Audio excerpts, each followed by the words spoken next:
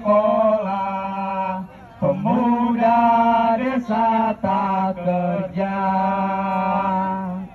Mereka dirampas haknya sisi kiri Jangan sampai ada pihak-pihak provokasi yang masuk dalam barisan mahasiswa. Sepakat teman-teman. Teman-teman semua, apabila lima menit lagi kita tidak diizinkan masuk ke dalam patung kuda, duduk tenang, semua duduk tenang, kembali ke dalam barisan masing-masing. Kembali ke dalam barisan masing-masing, masuk ke dalam border kawan-kawan, supaya teman-teman. rapatkan barisan kepada teman-teman. Mohon perhatiannya. Teman-teman sekalian, hari ini kita sepakat aksi damai. Oleh karenanya, mohon Bapak Kepolisian, kita sepakat hari ini aksi damai dan izinkan kita menyampaikan aspirasi-aspirasi aspirasi kita dengan damai.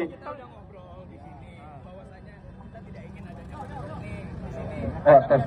Teman-teman, mobil ya, satu komando. Teman-teman yang hadir di sini. Hari ini kita memang tidak bertemu oleh Bapak Joko Widodo atau Bapak Maruf Amin. Tapi bukan berarti perjuangan kita hari ini gagal.